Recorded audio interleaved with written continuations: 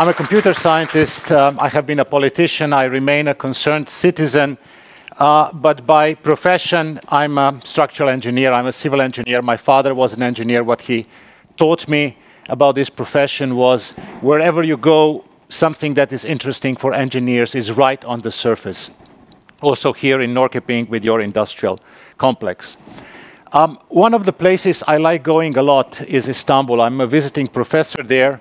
And the interesting thing about this city is it has been top of the world. It has been the most powerful, the richest city in this part of the world twice in history. In the era of uh, Justinian as the capital of the Eastern Roman Empire, and later when the Ottomans took over. And when empires try to show their strength, what they do is they build huge structures. It used to be churches in the past. Nowadays, there are World Trade Centers, banks, big hotels, etc. But civilizations prove themselves, they prove their quality by what they can build. And they have built in Justinian times in Constantinople uh, Hagia Sophia. Those of you who have some experience with the handiwork know that what is difficult to do is to cover large spaces, to make large volumes of covered space. This is what's difficult. It's not difficult to pile a lot of rock into a pyramid. And what they managed to do in year 500 was a dome with a diameter of 31 meters. I was there about um, three weeks ago, and it still strikes you as huge. Look at the scaffolding. This is modern steel scaffolding with stairs, etc. It's a huge space. And this was the largest building, the largest structure in the world for 1,000 years. The Ottomans took over in the, about um, in the end of 14th century. They also said, oh, we'll build something magnificent as well. They did this uh, Mosque. It's a little bit more elegant, you would say, not so bulky. And they managed to do 26 meters in diameter. When you go in, it's much smaller. The difficulty goes with the square of the diameter, not with the not linearly. And then a hundred years later, in Rome, a series of architects builds St. Peter's, which is 10 meters bigger in diameter than Hagia Sophia. Finally, the world record is broken. And you wonder why. What happened? Nothing for 1,000 years, and then in 100 years, basically the tripling of the size between Suleymaniye and St. Peter's. What happened there? Um, was it the end of the Middle Ages? Some historians make, made a line. Was it the discovery of America? We learned how to build big structures from the American uh, Indians? Not really the communication revolution number one happened around that time. Before that, communication technology was limited to parchment. If you want to communicate something, you would write it down on parchment. It was extremely expensive. You would have to kill a small animal to create a sheet or two. And they used it for very sacred things, like the Bible, a couple of Greek, Greek classics, and that was it. And the monks were copying these books, like uh, in the Name of the Rose movie, which uh, you might remember. And then some kind of globalization happened. A little bit of peace in Central Asia allowed European travelers to go to China safely and come back with a lot of ideas. What was invented there? Like gunpowder, like spaghetti, like ice cream all this was first invented in China, not in uh, Italy, not in Europe. But what they also brought, but Marco Polo also brought back with him, was technology how to make cheap and inexpensive paper out of wood, out of cellulose. And this paper became available for anything, not for Plato and Aristotle and Cicero and the Bible, but for Leonardo to do his drawings. It was also available to do engineering drawings. And I think it's a little coincidence that the actual first modern technical drawing, drawn to scale, drawn as a perfect top view, was for the design of the St. Peter's in Rome um, done by Bramante originally. The first modern design on this paper. What followed is uh, what we call history, or the nice part of European history. The Renaissance follows. The West advances faster than the rest to reach basically near full monopoly in science, in economy, in military, in politics in the early 20th century. Before the, before the First World War, Western economies combined were about 90 to 95% of the global output. This has been declining ever since, but still on this map, which is distorted by global economic output, and the data is for the 1960s, you see that basically the economic output of Europe is the same as the economic output of, the, of Asia, China, India, Japan, Africa combined. And of course, you would question, or we could attribute that to the fact that we really embraced communication technology much better than a few other civilizations. Paper did change everything, but it did not change everything everywhere. Paper is the basis for communication technologies. Paper is the basis for engineering drawing. Paper is the basis for print for press, for media, for newspapers, for, post, um, for postal service, for, uh, for typewriters, and things like that. It's communication media, and it's the communication that glues elements of society together, extroverts and introverts. Um, but it's by communication that you make a family. It's by communication that you make a, a, small company or a business. It's communication that glues a big business together.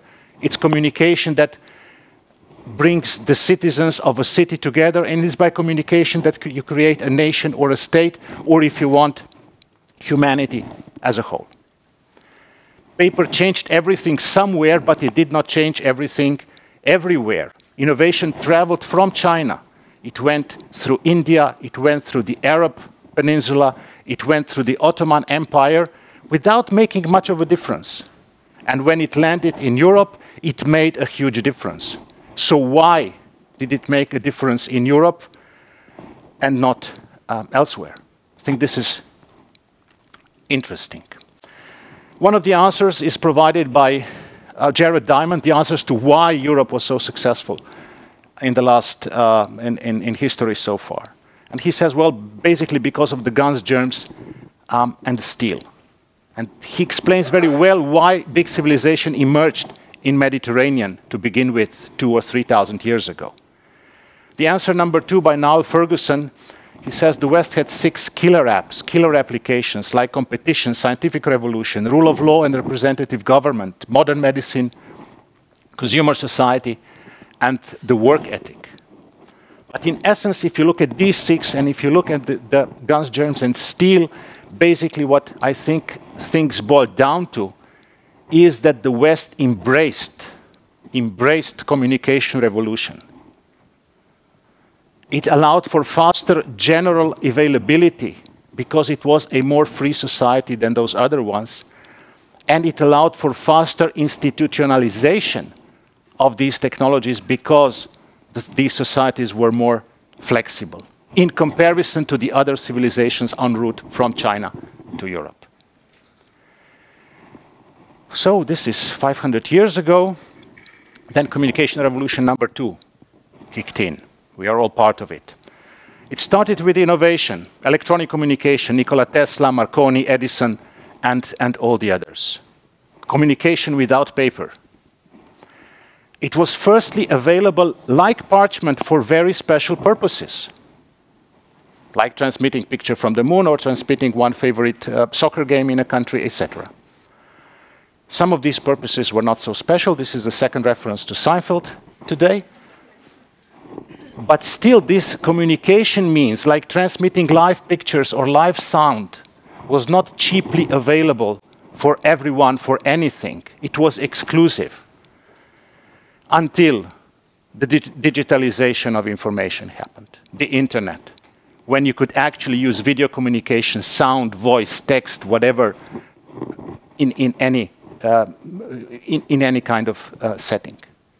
30 years ago, you would have in a country maybe two, three, four video streams that you could select your content from. Now you can select from millions of video streams. So there's the same pattern in the paper and the internet communication revolution. When it is available to few, it has a limited impact, but when it is available to many, it has a revolutionary impact.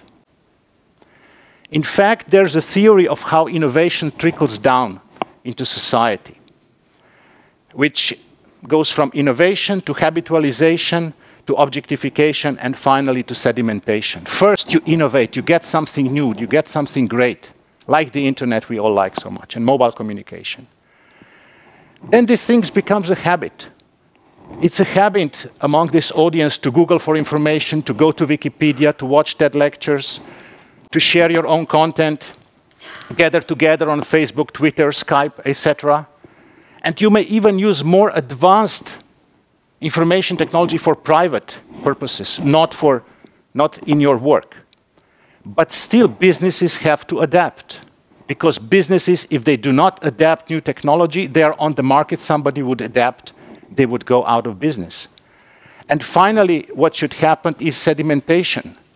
The new technologies should evolve, should trickle down into the laws and rules and constitutions that we use in our society to organize us. And the speed of this change is not the same. Individuals can be very fast in adopting new technologies. Businesses um, are forced by the market. But then you have off market organizations which are the slowest. And a change of policy and regulation is needed. So we can expect, and what we are witnessing, that the slower disruption, the slowest disruption is in the media, but also in the education, in the judiciary, and in the way we practice democracy. Example, why regulated system changed slowly. You could not have a democracy in the Middle Ages without the media, without newspapers, without the possibility to, to distribute written uh, documents. Power had to be concentrated where you could communicate orally.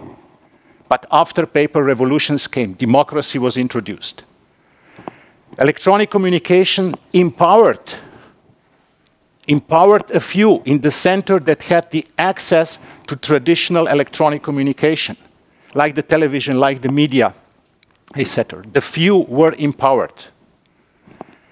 And now, of course, in the age of the internet, the masses get empowered. And something is bound, bound to happen. And uh, Stefan was, was um, telling us how to predict, basically on the micro scale, how we can go about it. And indeed, if history is any uh, teacher, we can expect that the way our society is organized will have to change because of the way we communicate or because of the way we can communicate to each other. But societies tend not to, um, and, and organizations of society tend not to change peacefully. This is what we can also learn. So what are the lessons? The lesson one is that an important element and an important view on history is that the history is also a history of communication. Humans are both individual as well as social beings. What we can accomplish together is also determined by, by, but how, by how well we can communicate. And history of human society is also history of communication technologies that was bringing this society together. History is not just one damned political, military, or dynastic thing after the other, or as Churchill would say it. It is not economic transition from agricultural to industrial to information economy. It's not a history of class struggle. It is also a history of that thing that brings society together. Lesson number two, revolutions disrupt. Communication revolution happens not when something is invented, but when something is democratically available to each and everyone. This happened after paper communication revolution, this is happening after or during the digital communication revolution. It is followed by revolutionary or historic disruptions in every element of society, including science, technology, education, economy, and politics, and including shifting of the global geopolitical power, but not everywhere. Culture and values are essential to select where the change will happen, where the change will be uh, beneficial and employ, er, and where it would not be. The fact is that at the end of Middle Ages, Europe had the most convenient, the most friendly value system for this new communication uh, technologies. To embrace paper communication revolution, to allow it to empower people, to, uh, to empower businesses, to empower sciences, and of course to use it as a tool for equality in society. And it was in the United States that were set, setting up the country freshly, without much uh, of a historic luggage, that they could take note of that in the political system as well and create democracy in a fairly, um, you could say, peaceful way. And the final message we should open the opportunities for these newly empowered citizens by all this, empowered by all this communication technology. Never before has so much education, information, knowledge, also contacts to other smart people been available to so many and so inexpensively and also so equally. Some people are worried that there are differences in, um, in, in material wealth rising, but both rich and poor have access to TED lectures, both rich and poor have access to Wikipedia and to uh, Google and to uh, everything else. People will take advantage quickly, businesses will adapt, but what about governments and all these systems which are enshrined in laws?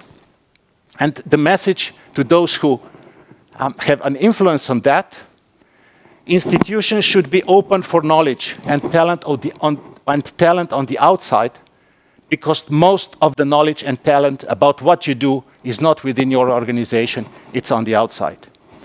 And the other, the final message is systems should be flexible to change. How we organized our societies in the paper communication model is not necessarily optimal as to how we organized for the digital age. Thank you.